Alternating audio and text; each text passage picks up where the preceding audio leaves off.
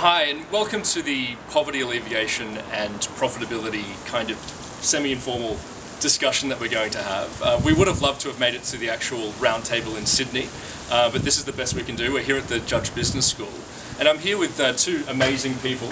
Uh, the first is uh, Jaideep Prabhu. Jaideep is my supervisor as well as the Professor of Indian Business and Enterprise here at the Judge Business School. And he's also recently published a best-selling book called Jugaad Innovation, Think Frugal, Be Flexible, Generate Breakthrough Growth. I'm also joined by Andrew Jenkins.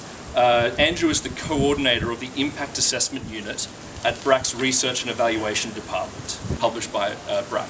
So thanks to both of you for uh, joining me here today. The title of this roundtable uh, discussion is poverty, po poverty alleviation and profitability. Um, I'm curious about what you guys think about the role business in alleviating poverty on the one hand and making profits on the other, because to some it seems like a very counterintuitive notion. Yeah, I mean, maybe I can jump in. I mean, you may think that, you know, that's a contradiction in terms, uh, but let's just step back and think about it. Now, I mean, the World Bank estimates that there are something like 4 billion people around the world uh, who live at the so-called bottom of the pyramid. These are people who are earning less than $3,000 PPP per annum. So about less than $9 a day.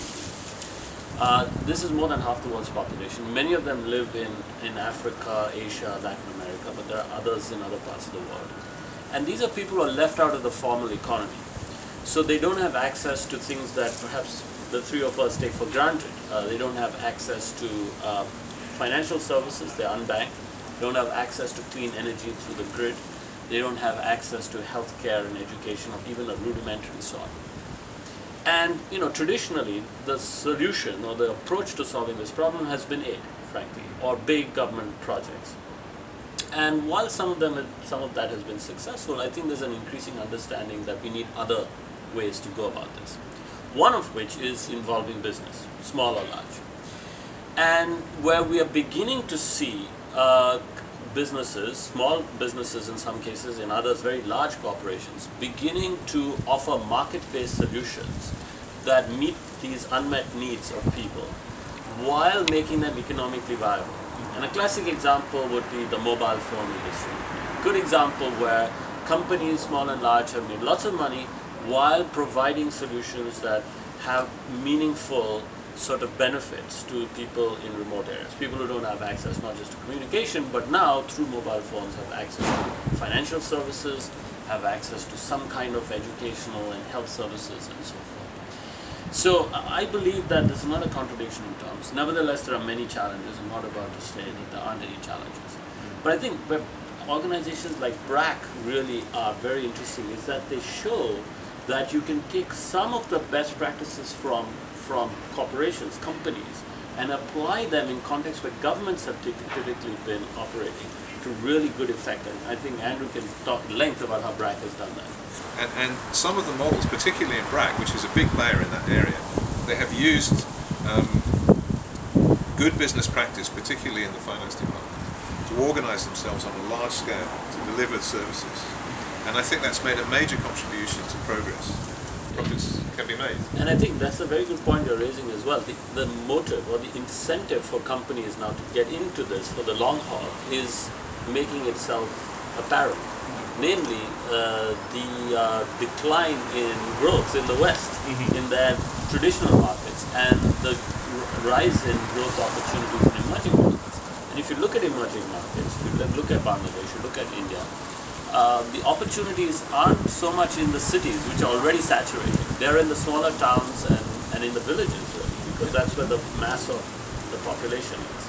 So that, that financial motive is making itself apparent, and that's why you see this move of companies into the space. And we, have seen that, that farmers and, and, small small producers and, and small uh, entrepreneurs in the countryside have been extremely innovative, and that's what's driven this consistent, consistent agricultural growth rate. These ventures are often targeted at the poor in isolated rural areas where expenses um, for business can be astronomically high and margins razor thin. So do you have any kind of parting advice or rules of thumb that businesses could use when considering these opportunities? Well, I mean, so I'll take the business perspective, and then I think you'll find from Andrew that BRAC adopts a similar, has similar challenges because they have to meet their costs at the very least, even if they're not trying to make a profit. But for, for businesses, uh, particularly if they're delivering something physical, a physical product, there's a so-called last mile challenge, which is exactly what you pointed out. But even if they're uh, delivering a service, because they have to put people there, and the way they've, they've solved this in, in cases when they solve it is to use local people as partners. Uh, use them as distributors, people who deliver the service, and that's how you very cleverly get around the last mile problem. And at the same time, create employment opportunities for people in those communities, hmm. which increases their livelihoods and their ability to spend. Hmm. You see, so it's a virtu- potentially a virtuous Virtuous cir- circle. Hmm. So I think bus- it's not easy, but businesses are doing it. But I think you'll find that BRAC has been doing this for longer uh, because they have to meet their costs. Yeah, I think that's right, and I, th- I think the key, the key is, is having partners who understand the situation. And, and I mean, you mentioned the mobile phone situation. The mobile phone, people made money out of mobile phone, a lot of money, um, with very low rates. I mean, if I compare what I pay in Bangladesh for a mobile phone and what I pay here, there's a huge difference, right? And it's because of the volume. I mean, the volume is just absolutely massive. I mean, geographically, it was a, it was a very advantageous situation, and and it, it changed. I think for, for, for the population in general, it changed everything. Ways of social interaction and business and all kinds of things just changed completely. And it's accessible to almost everybody. There are very few people who can't get a mobile phone, and it changes, you know, gives them all kinds of opportunities. And I think the other important thing is not so much to see this as a challenge, but an opportunity. Okay, so that's it from us here at the Judge Business School. A big thanks to JD Prabhu and Andrew Jenkins.